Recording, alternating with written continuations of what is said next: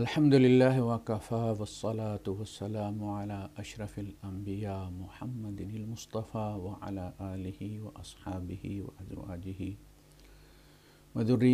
व अहल बैतिहि अजमाइन अम्मा बाद क़ब्र के मौजू पर ग़ालिबन मेरी वीडियो भी मौजूद है लेकिन तहरीर भी मौजूद है उस सिलसिले में आ, कुछ इश्कालात कुछ अहबाब की तरफ़ से कमेंट्स की सूरत में सामने आए।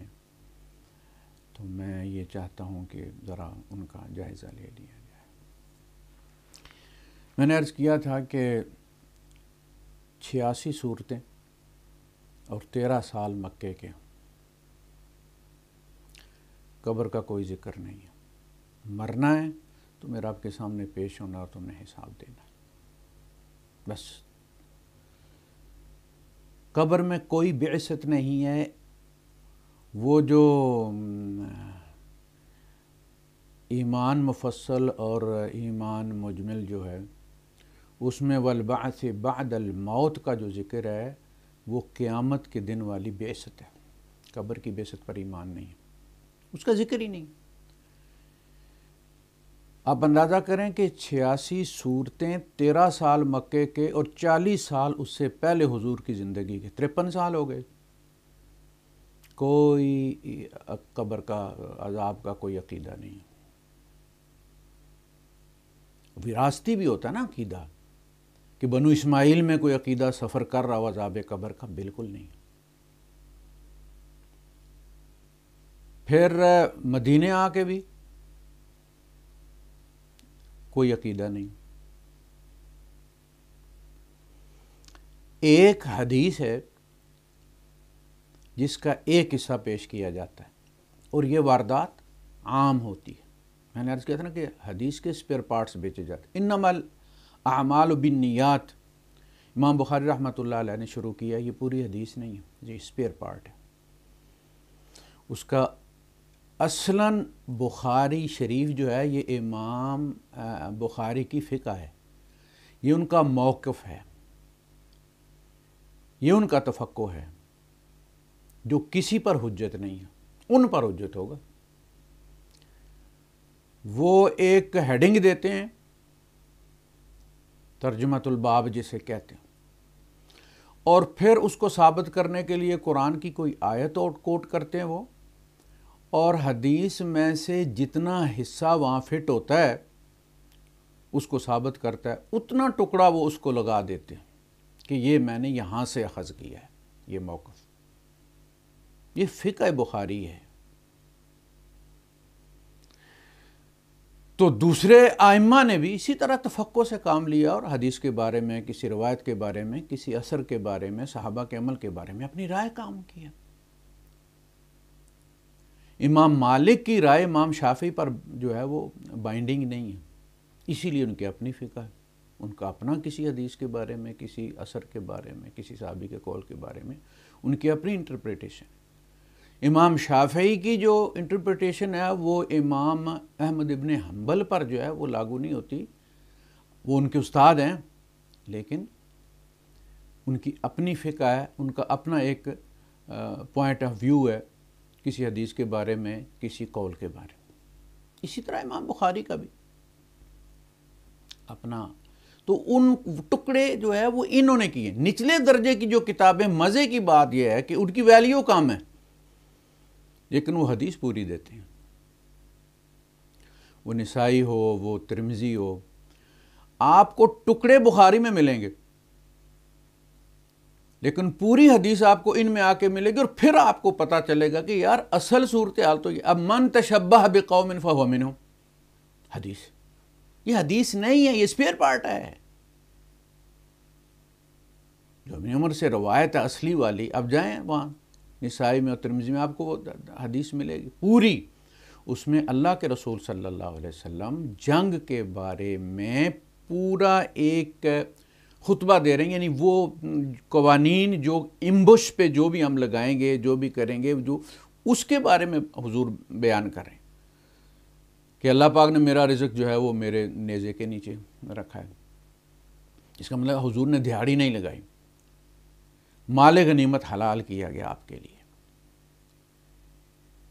तो वो जो भी इस नेज़े के ज़रिए मिलेगा, वो मेरा रिजक है। रिजक के लिए दिहाड़ी नहीं लगाऊँगा, चाहे फाका फाका हो जाए। वो नेज़े वाला काम मेरा दीन है, मेरे दीन का हिस्सा है। लिहाजा अल्लाह ने उसमें मेरा रिजक रख दिया। लिहाजा हुजूर के यहाँ जो है वो आपके और आपके घर वालों को और आल अब्बास को और आल अकील को और आल अली को, इनको वो मिलता था हिस्सा उनका, हुजूर के अजवाज को, खैबर में से जो भी आता था। एक तो ये बात होगी जो मेरा मुकाबला करेगा, अल्लाह उसे जलील करेगा। फ़तह मेरे मुकदर में लिख दी गई है, मेरे दीन गालिबाना है। ये तफसीर है कतब अल्लाह अगले बनना अन व रसुली। अल्लाह पाक ने ये लिख दिया, तय कर दिया कि मैं और मेरे रसूल गालिब आकर रहेंगे तो हुजूर ने फरमाया, जो भी मेरे सामने आएगा, वो जलील होगा और अल्लाह पाक मुझे इज़्ज़त देगा। उसके बाद आपने फरमाया कि जो किसी कौम में होगा या किसी कौम की तरह होगा? यानी हम किसी कबीले पर एम्बुश लगाते हैं। वो कबीला हमारे साथ हालते जंग में। है वहाँ कोई बंदा दूसरे कबीले का आया हुआ है। वो कबीला जिसके साथ हमारा माहा है, अमन का। लेकिन वो बंदा पाया वहाँ जा रहा है जहाँ हमारी जंग हो रही है। तो वो उन्हीं में से है। वो अगर मारा जाता है, इंडिया के साथ हमारा माहा अमन का अफ़गानिस्तान में जो मारा गया है बंदा इंडियन कोई मारा जाता है, वो राह का हो या कोई उनका फ़ौजी हो और वो यहाँ वो मशीर हो और पैसे शैसे देने आया हो और मारा जाए तो ना हम उसका कसास देंगे, ना हम उसका फिद, जो है वो फिदिया देंगे। इसलिए वो यहाँ कर क्या रहा था? हमारे लिए वो इंडियन नहीं था, हमारे लिए वो अफगानी था जो हमारे साथ आलते जंग में और वो हम पर हमला करते हैं, हम उन पर हमला कर रहे हैं। समझे? ये इस किस्म की बात हुजूर फरमा रहे कि मन तशब्बा बेकौमिन ये टुकड़ा है उस हदीस का, उस तवील हदीस का। फ़ाह मिनहम। जो किसी कौम में आएगा, उन्हीं जैसा हो जाएगा।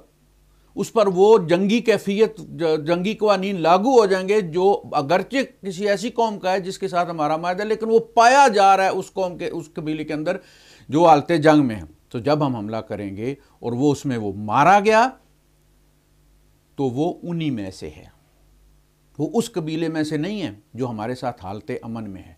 वो उस कबीले में है जिसमें वो मारा गया क्योंकि वो उन्हीं के मुशाबे था, उन्हीं में मारा गया। उसके माथे पे कोई नहीं लिखा हुआ था कि वो किस कबीले का है। जिसमें वो था, पकड़ा गया, मारा गया, वो उसी कबीले का था। ये है असल चीज़, मन तशब्बा बेकौमिन फ़ामिन हमने उस पर किस कर दिया? अगर तुम पैंट शर्ट पहनते हो तो तुम यहूदी हो। यहूदियों का लिबास पहन रहे हो। और हदीस क्या कोट करेंगे? मन तशब्बा बेकौमिन फ़ामिन तुम्हारी जो है वो क्लीन शेव हो तुम तो तुम यहूदी हो। अच्छा यादियों की दाढ़ी हमसे लंबी होती है, वो सिखों की तरह काटते ही नहीं है। अच्छा तुम ईसाई हो, इसलिए कि ईसाई जो है वो क्लीन शेव होते हैं। तुम ईसाई हो, मन तशब्बा बेकौमिन फ़ामिन हो तो जब स्पेयर पार्ट्स आप करते हैं ना, और हेडिंग बनाते हैं अपनी तो आप उसकी जान निकाल देते हैं, उस हदीस की। तो असल हदीस क्या है? कि जब अल्लाह के रसूल सल्लल्लाहु अलैहि वसल्लम मदीने में आए तो अंसार यहूदी थे ना अंसार में से जो मुसलमान हो गए हो गए, जो अभी नहीं हुए थे, उनकी ख़वातीन आती जाती थी, क्योंकि अंसार के साथ तो मायदा अमन था ना। तो वो जो है ना, ला तत्ताखिजुल यहूदा व नसारा अलिया ये वही है। एक भाई मुसलमान हो गया, दूसरा अभी तक जो है वो नसरानी है, ये यहूदी है। बाप मुसलमान हो गया या बाप अभी यहूदी नसरानी या बेटा मुसलमान हो गया अब्दुल्ला इबन उबई जल से तो वो यहूदी ही था बाज़ार मुसलमान बना हुआ था। इनके बारे में फ़राकुल इनकान आबाकुम व अबनाकुम व अखवानकुम व अशीरतकुम व अमवालकुम। इसमें ये वो हैं कि जो अगर तुम्हें अहब्बा मिन अल्लाह व रसूल, अगर तुम्हें अल्लाह और उसके रसूल से और जहादन फ़ी सबीली और उसकी राख में जहाद करने से ज़्यादा महबूब है। यानी तुम उनके कहने से रुक जाती हो। बाप मना करता है, बेटा रुक जाता है। बीवी मना करती है, शोर रुक जाता है जिहाद से। तो फ़तरबस हतयात अल्लाह बयान। ये वो घर के अंदर हैं। उनके बारे में कहा गया कि उनको दोस्त मत समझो और उनके सामने कपड़ा मत हटाओ, पेट से। हुजूर की मजलिस की बात घर में मत करो, इसलिए कि तुम्हारे यहाँ फ़ीकुम समाउन लहम। तो जासूस हैं उनके, वो तुम्हारे घर के अंदर। इन मिन अजवाजिकुम औलादिकुम अदुवल्लकुम ये वो हैं। तो हज़रत आयशा सिद्दीक़ा रज़ी तला फरमाती हैं, जो पूरी हदीस है, कि मेरे यहाँ जो है वो एक लड़की थी, अंसार की जो काम करती थी, यानी यहूदी लड़की थी जो काम करती थी। तो जब भी मैं उसके साथ भला करती थी, कोई खाने की चीज़ आ गई, उसको दे देती, वो मुझे कहती थी, अल्लाह तुम्हें अजाब कब्र से बचाए। तो बात ख़त्म हो गई। फिर एक दिन दो औरतें आईं, यहूद की। मैंने उनके साथ भला किया, जो भी कर सकती थी। तो उन्होंने मुझे कहा कि, अल्लाह तुम्हें अजाब कब्र से बचाए। तो मैंने ये बात कान में रख ली अब, कि भाई इसके बारे में कोई ना फैसला करना है। अल्लाह के रसूल सल्लल्लाहु अलैहि वसल्लम तशरीफ़ लाए। तो मैंने आपसे अर्ज़ किया कि अल्लाह के रसूल क़यामत से पहले भी कोई अजाब है। आपने फरमाया, नहीं। तुम्हें किसने कहा है? उन्होंने कहा कि अल्लाह के रसूल, मेरी यहाँ यहूदी औरतें जब भी आती हैं तो मैं उनके साथ कोई भला करती हूँ तो वो मुझे कहते हैं कि अल्लाह तुम्हें अजाब कब्र से बचाए। तो आपने फरमाया कि ये, अल्लाह के दुश्मन, ये यहूदी जो है ना, कोई अल्लाह पर कोई थोड़े झूठ तो नहीं ना बोले और भी बहुत सारे झूठ बोले हुए हैं। हजूर कहते हैं कि यहूद झूठ बोल रहे हैं कि अजाब कबर है। ठीक। छियासी सूरतें, जिनका मौजू ही यही है। ईमान और आमाल और उनका अकाउंट फार करना माद उठना और हिसाब किताब देना। मक्की सूरतों का पूरा मौजू यही है। बार बार ये चीज़ जेर बहस आई। छियासी सूरतों में कोई कबर का अकीदा कोई नहीं, इसलिए तो हुजूर को ताज्जुब हुआ। बनी इस्माइल की वो ढाई हज़ार साल की लड़ी में कोई अकीदा नहीं। इसलिए कि हज़रत इब्राहीम से हज़रत इसहाक और याकूब और वहाँ तो नबियों की लाइन लगी हुई है ना। यहाँ हज़रत इस्माइल के बाद कोई नबी नहीं आया और बनु इस्माइल में इस अकीदे का कोई तस्वर ही नहीं। ऐसा कभी हो सकता है? तो अब देखिए, यहाँ बात कन्फर्म होगी कि अजाब कब्र कोई नहीं अब जो दसीसा कार थे जो हुजूर के फौत होने के बाद विसाल के बाद अचानक ही रज़ी तला हो गई वो जो लोग गजवा तबूक के वक्त मौजूद थे, मुनाफिकीन, कत्ल करने की भी उन्होंने कोशिश की, अल्लाह के रसूल सल्लल्लाहु अलैहि वसल्लम को ऊँटनी को भगा के, पहाड़ी से नीचे गिराने की कोशिश की उन्होंने। और कुरान ये कहता है कि मदीने के इर्द गिर्द के आराब और मदीने में मुनाफिकीन की लाइन लगी हुई है। मारा दो आलन निफाक। निफाक में नहायत माहिर है। ला इनमें दस साल गुजार के भी आप उन्हें नहीं जान पाए। नहनु नालम हम उन्हें जानते हैं। तो हुजूर के विसाल के बाद जिन्होंने हुजूर की सुनकर ईमान नहीं लाए, हुजूर के विसाल के बाद उन्होंने किसका दर्द सुन के ईमान लाया होगा? हुजूर के साथ मरे तो नहीं ना वो? कि हुजूर फौत हुए, दूसरे दिन पता चला कि सारे मुनाफिक बीमारी फैली और मर गए और अब माशरा क्लियर हो गया। नहीं, वो मौजूद है। रावी जो थे, उनका बैकग्राउंड क्या है? किसी का दादा यहूदी था, किसी का परदादा यहूदी था। ये जो इब्न शहाब जोरी है, इसका दादा यहूदी था। बनु जहरा के किसी दाई के हाथ पर उसने इस्लाम की बैत की और जोहरी कहलाने लगा। ये अरबों में आज भी है। आप कुछ फ़ीस दें इनको और आपको ये एक लेटर दे देगा उस कबीले का सरबरा कि ये आज से मंसूरी कहलाएगा। आज से खजरजी कहलाएगा। इंजमाम हो जाता उस कबीले में। ये जोहरी इस तरह से जो है वो इसका इल्हाक हुआ है। बनु जहरा के साथ, ये बनु जहरा का नहीं, इसका दादा यहूदी था। तो अकायद तो वही है ना। दादा, पर दादा से जो सुनी कहानियाँ हैं, वो अंदर से निकलती थोड़ी हैं। हमारे अंदर से हिंदुओं वाली कहानियाँ थोड़ी निकली हैं, नहीं? ये जो चीचक है, इसको माता कहते हैं ना हमारे चीचक माता, ये देवी, ये काली देवी माता, वो नाराज़ हुई है तो ये निकली है माता ये, चीचक। तो हमारे यहाँ माते का, हमारी दादी भी माता कहती थी, हमारे चचा को निकली। वो अंधेरे कमरे में रखते हैं उस बंदे को, चीचक वाले को, और एक धागा जो है वो बाँध देते थे उसके चारपाई के साथ ना तो जब रोशनदान से वो हवा आती थी तो वो धागा हिलता था। उसमें जान कितनी, कोई रस्सी थोड़ी है? वो धागा हिलता था तो कहते, चुप चुप चुप चुप, माता आई हुई है, माता आई हुई है। तो वो इसी तरह उनके यहाँ भी, जो उन्होंने इस्लाम में फिर घुसाए। वो कुरान के अंदर तो कुछ नहीं कर सकते थे। लायातिल बातिलमिन बैन अदई वला मिन खलफे ना फ्रंट डोर से ना बैक डोर से इसमें तो कुछ नहीं वो कर सकते थे। लिहाजा उन्होंने रवायात की बुनियाद पर कुरान को जो है वो आ, कम वैल्यू उसकी बना दी। अगर आपने वो कहते हैं ना अकबर ने कहा था एक लकीर उसने खींची और उसने कहा कि कोई बंदा इसको छुए बगैर छोटा करके दिखाए। तो मुल्ला दो पे आज़ा, बहुत बड़े आलम थे। तो उन्होंने उस लकीर के साथ एक बड़ी लकीर खींच दी। और कहा कि, ज़िल्ला ये आप किसी बच्चे को बुला के पूछ लीजिए कि छोटी कौन सी और बड़ी कौन सी मैंने आपकी लकीर को हाथ लगाए बगैर छोटा कर दिया कुरान के साथ ये वारदात हुई है। इन हदीसों को, इन रवायतों को, इन कहानियों को वो मुकाम दिया गया है कि कुरान छोटा हो गया है।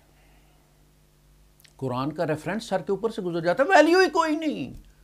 अब देखिए, मैं कुरान कोट करता हूँ और वो रवायतों की पूरी लिस्ट लिया तो फिर इसका क्या मतलब है? फिर इसका क्या मतलब है? और हम कहते हैं, तुम इन कहानियों का, इनका क्या मतलब है कुरान की शायद के मुकाबले में? यह बताओ तुम हमें आगे लगाने की कोशिश करते हो कि हम रवायतें लिख देंगे तो वो इसका मतलब है कि हम कुरान छोड़ देंगे? ये रवायतें कुरान पर पेश की जाएगी। जिनको ये कबूल करेगा, उसको हम मानेंगे। हम इसको इस तरह ना फ्रंट डोर से अंदर घुसने देंगे अपने अकीदे में, ना बैक डोर से घुसने देंगे। कुरान हमारा वो जैसे डिटेक्टर गेट होता है ना, उसमें से वो लगा के तो बंदों को निकालते हैं, कोई बम तो नहीं। हम इन बारूदी सुरंगों को इस दरवाजे में से निकाल के कबूल करेंगे। जिस रवायत में कोई बारूदी सुरंग नहीं है, कबूल कर लेंगे। जिसको ये कुरान डिटेक्ट करके कहेगा कि ये खतरनाक है भाई, इसमें बारूदी सुरंग है, वो मेरे सामने बैठ के भी कोई मदीने का बंदा बयान करेगा ना तो मैं नहीं मानूँगा उसे।